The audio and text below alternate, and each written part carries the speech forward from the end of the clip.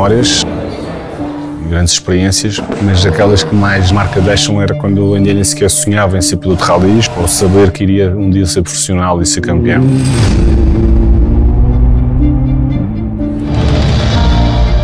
A minha memória mais antiga foi já 20 anos atrás, ver um Peugeot 306 Maxi, kit car a cantar às 11 mil rotações, numa serra abaixo e ver o carro passar e, e fechar os olhos. E consigo replicar na minha memória direitinho aquele carro a vir por lá abaixo, a, a trocar de caixa, a pôr terceira, quarta, quinta, sexta, sétima. E de ver aquele motor a cantar com uma, uma alma incrível. Há dois anos atrás acusei positivo num teste antidopagem para cocaína e com a consequência veio a suspensão de dois anos e afastei-me do, do mundo automóvel.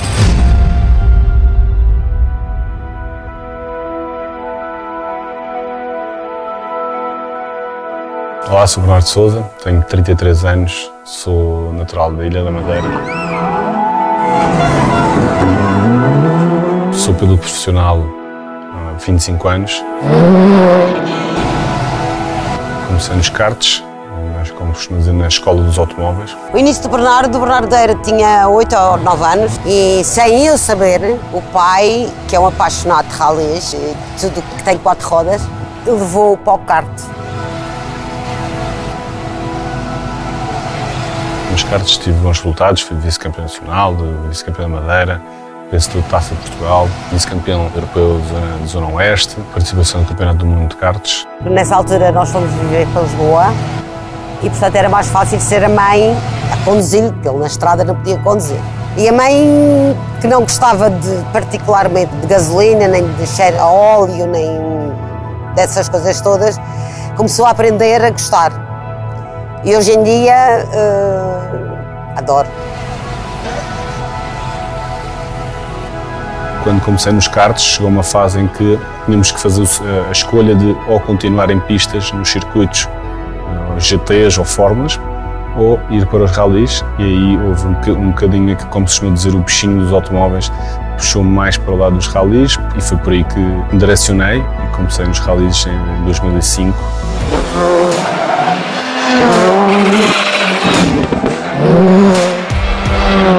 Um bocadinho como uma brincadeira, o meu pai tinha viajado, nós tínhamos um carro de corridas e eu acabei por roubar, entre aspas, o carro. Doido, varrido. Não tinhas vezes nenhum. Tinha dito ao meu pai que queria fazer, queria fazer esse rally, ele tinha dito que não e tal. Entretanto, ele acabou por viajar e eu inscrevi-me com outro amigo meu, ele foi copiloto. Fomos treinar assim tudo de uma maneira muito arcaica, sem experiência nenhuma. Estava a chover imenso, o carro de tração atrás, um carro antigo, um Forscore. Uh, até estávamos a andar bastante bem, mas depois, uh, fruto também da inexperiência, os volantes dos carros antigos não eram em pele como são estes hoje em dia, uh, eram um género de plástico e as luvas eram em couro e eram, deveriam ser molhadas. Quando o carro fugia traseira, o volante escorregava dentro das mãos e houve lá uma, uma direita, o carro fugiu traseira e não conseguia segurar o volante. Quando consegui agarrar o volante, o volante estava virado para a esquerda e subi um barranco e fiquei lá preso e fiquei lá pendurado a ver os outros passar. Uh, portanto, foi, foi a minha primeira experiência. Não houve estrago no carro, não foi muito grave, mas ter pegado no carro sem ter uma, uma benção oficial da família foi uma coisa assim meio, meio incómoda, mas que não foi assim muito grave. Eu sou Margarida, sou mãe do Bernardo, já estou pedacinho velhota, mas continuo a adorar os rallies como há 20 anos atrás. A diretora desportiva aparece porque o Bernardo começa a fazer o campeonato nacional, eh, passou dos karts para os rallies e ao segundo ano entra para a equipa da Red Bull. Faz o primeiro ano com a Red Bull e entretanto ele começa a correr sozinho. Comprou o Fiesta em 2010 e foi criada a equipa e aí eu não chamava diretora desportiva, chamava-lhe mais food and beverage e empregada de escritório e, e variedíssimas coisas que, que eu fui fazendo é o que era preciso. E também servia de diretora desportiva quando era preciso. Foram uns anos muito bons, foram uns anos que eu tenho excelentes memórias. Realmente o Mundial é assim. É como o Circo do Soleil e o Circo da Feira aqui de casa. Não discriminando os ralês locais ou nacionais, mas o Mundial é assim. Um, é um mundo à parte. Andei uma única vez com ele e eu, quando me dentro do carro, apreensiva porque comecei a pensar que podia cair ali abaixo, quer dizer.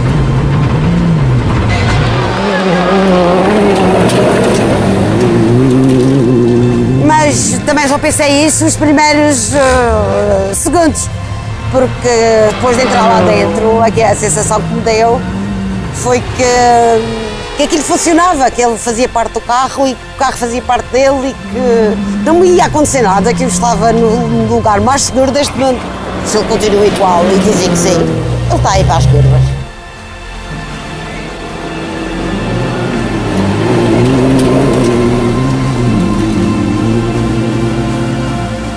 Não é só guiar, é de facto um desporto muito complexo.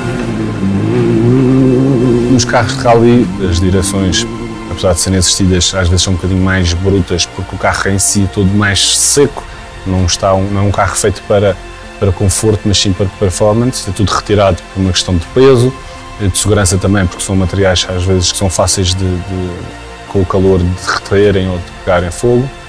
Nós passamos, de, consoante os ralis, de um dia ou três dias, eh, temos temperaturas à volta dos 50, 60 graus eh, dentro do carro, portanto perdemos 2, 3, 4 quilos de desidratação dentro do carro. Há sempre um, um trabalho de preparação física porque é, é insustentável passar, treinar apenas no carro. Portanto, há que haver uma parte física de um trabalho de casa.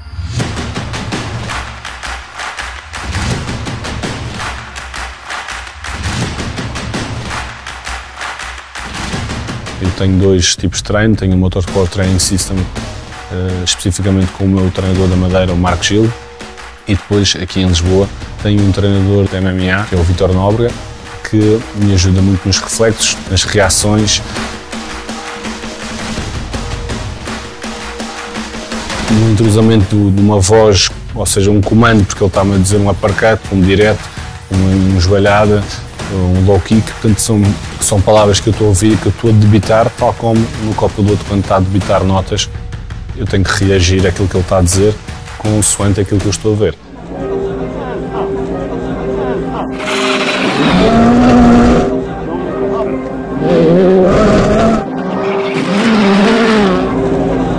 As notas dependem muito de piloto para piloto. O Bernardo naturalmente classifica as curvas de 1 a 6, como qualquer piloto, ou a maioria dos pilotos. Tem uma distância métrica diferente de todos os pilotos com quem já andei. Por exemplo, um piloto é capaz de, de referir uma distância de 100 metros, essa distância de 100 metros para o Bernardo equivale a 30. Eu sempre tive uma relação de amor-ódio com os meus copilotos. Eu troquei algumas vezes copilotos, também eu era bastante novo, tinha um feitio também difícil. O Bernardo tem um talento natural fora de comum. Aliás, o Bernardo é uma pessoa que marca por um talento, ele tem um dom natural. Uma pessoa que tem uma leitura de estrada e uma leitura de consecutivas como nunca vi. O Bernardo faz uma, duas passagens de uma consecutiva e parece que memoriza toda a consecutiva.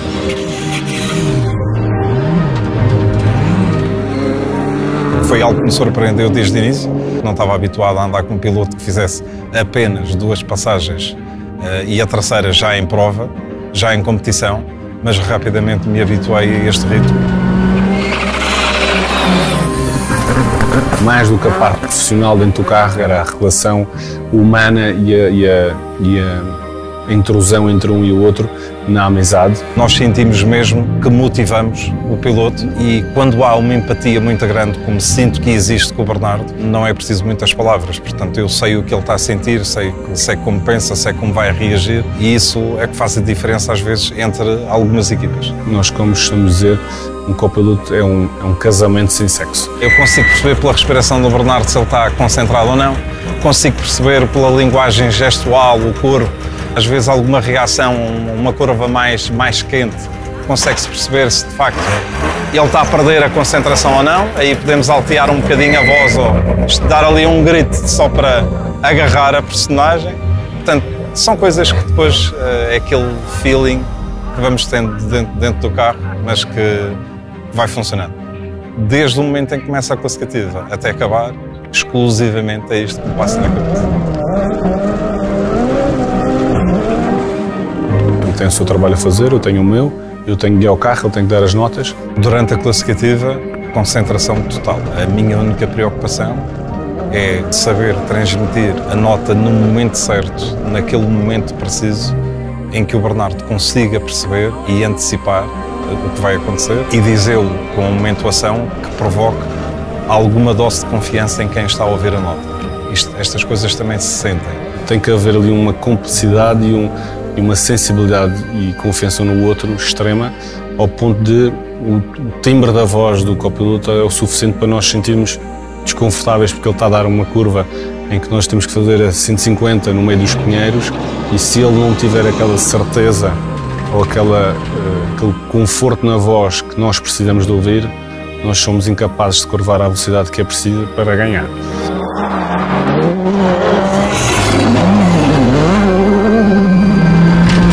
Se uma pessoa estiver mais hesitante, naturalmente a pessoa percebe que pode haver ali alguma insegurança e levanta o pé. Se as coisas forem ditas com alguma convicção, com segurança e tranquilidade e, e o piloto tiver a perceber que de facto aquilo corresponde àquilo que vai acontecendo, naturalmente vamos ganhando confiança e outra confiança na abordagem às curvas. A este nível, isto é importantíssimo porque uma hesitação numa curva são décimas, ao fim de 10 km podemos estar a falar de 10, 15 segundos que se perde face aos adversários. As pessoas acham que nós somos malucos, mas nós sabemos perfeitamente o que é que estamos a fazer, mas é quando, é quando há essa intrusão e essa ligação entre piloto, copiloto e máquina. Basicamente os rallies são isto, eh, um reconhecimento do percurso, uma confirmação e depois passar com os carros o mais depressa possível, sem bater, sem ter nenhum susto, que há muitos, e chegar ao fim e ser o mais rápido possível que os outros.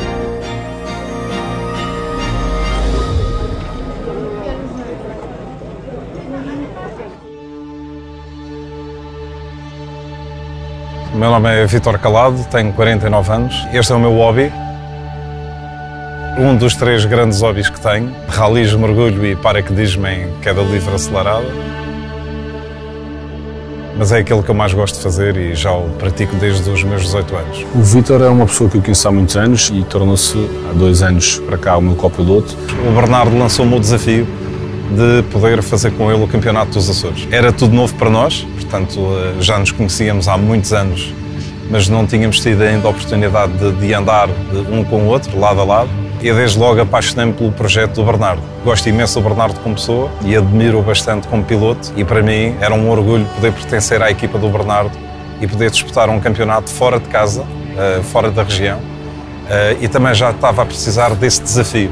Nas primeiras três rallies que fizemos, ganhamos duas, portanto foi uma aposta fortíssima. Acho que é uma ótima influência, é uma pessoa ponderada, é uma pessoa mais velha, profissionalmente tem uma responsabilidade já muito grande, portanto encara a vida de outra maneira e portanto acho que está a passar essa responsabilidade e essa, essa maneira de encarar a vida e de estar na vida, está a passá-la para o Bernardo.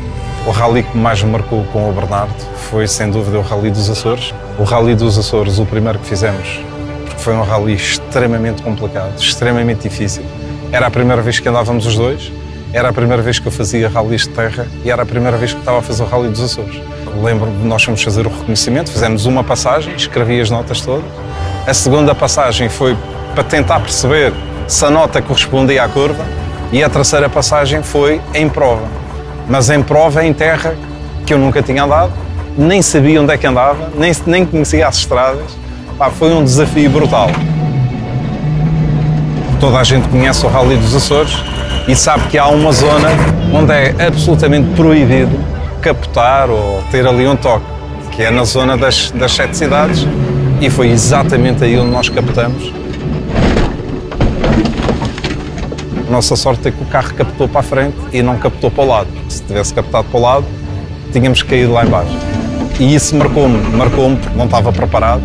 E o que marcou ainda mais foi a reação do Bernardo. Portanto, eu quando pensava que o rally tinha ficado por ali, eu nem sabia se o carro tinha rodas, se não tinha rodas, só senti o carro a captar e a rodar para a frente.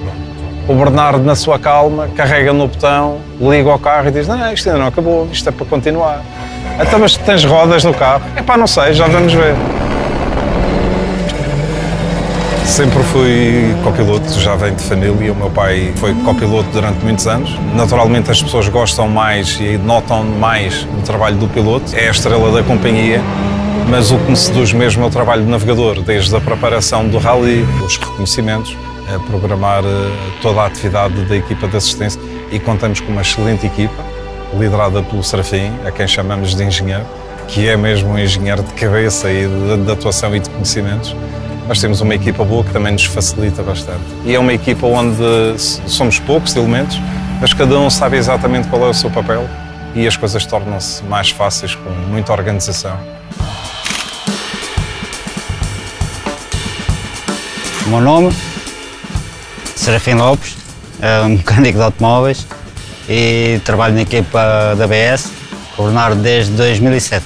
Sou Duarte Júnior, sou engenheiro da equipa do, do Bernardo já estou com o Bernardo há alguns anos, cerca de, de 7, 8 anos.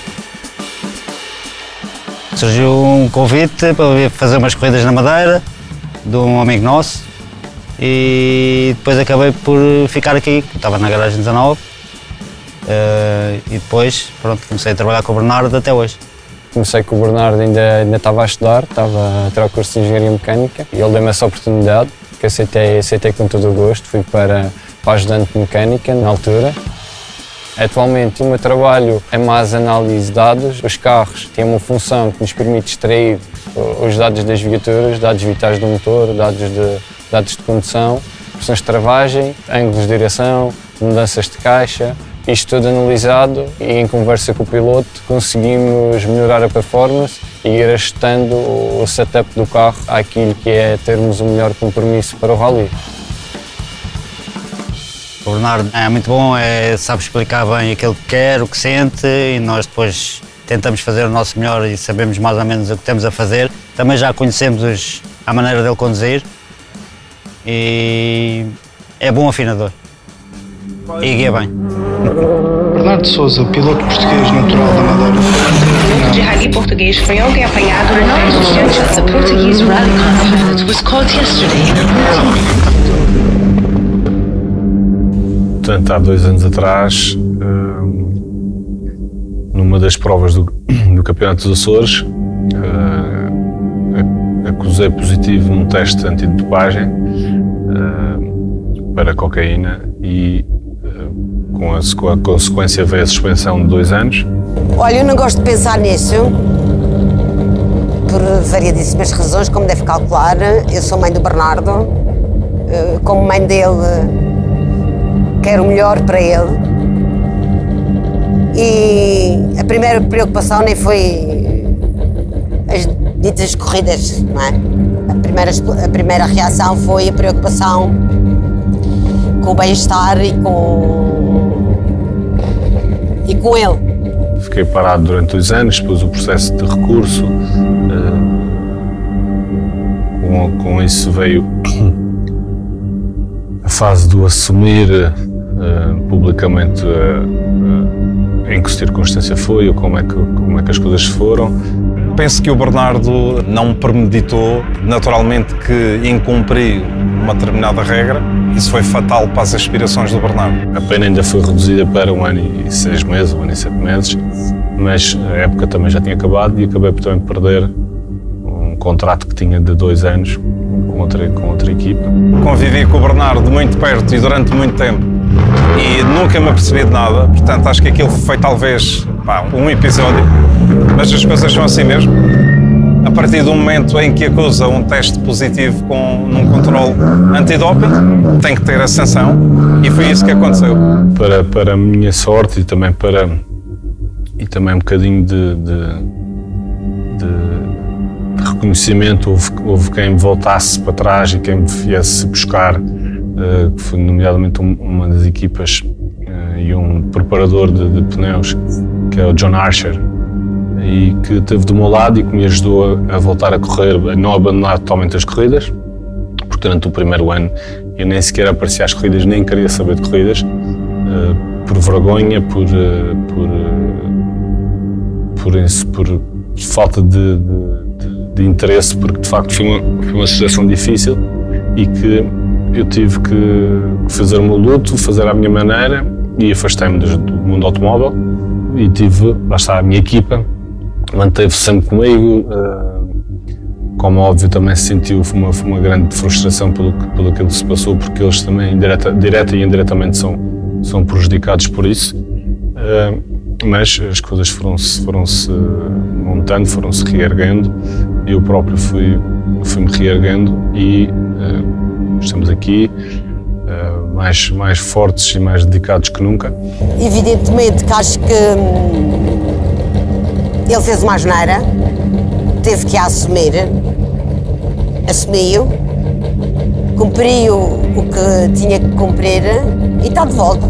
Penso eu que, entretanto, cresceu, sei que ele está mais calmo, aprendeu muito e pronto, foi uma coisa, foi mais uma situação que fez parte do percurso dele, como podia ter sido, poderia ter acontecido com qualquer um. Foi uma situação difícil que está, está ultrapassada, não é esquecida, não é apagada, que faz parte do passado e agora é uma questão de, eh, de olhar para a frente, para o futuro e o tempo dirá eh, e, e os resultados assim provarão que foi uma fase menos boa e que uh, o atleta Bernardo Souza continua cá.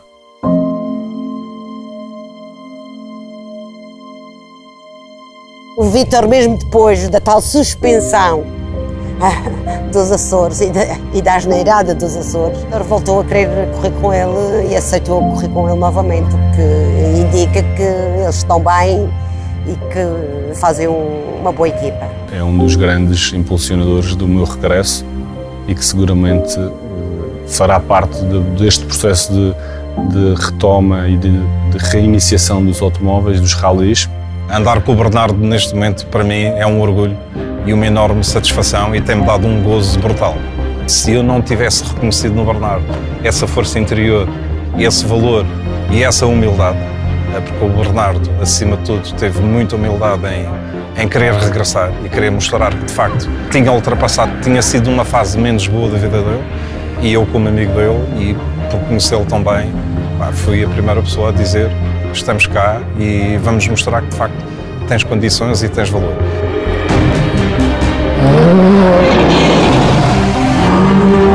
O futuro, a minha vontade de ganhar continua cá, nunca deixou de existir, até porque sou, sou uma pessoa competitiva de natureza. Em tudo o que faço, gosto de fazer bem, da melhor forma, ou com o intuito de, de ganhar ou de ser o mais competitivo possível.